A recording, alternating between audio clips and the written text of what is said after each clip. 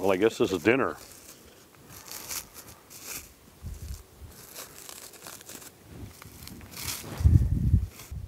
We have nature in beautiful Sullivan Slough.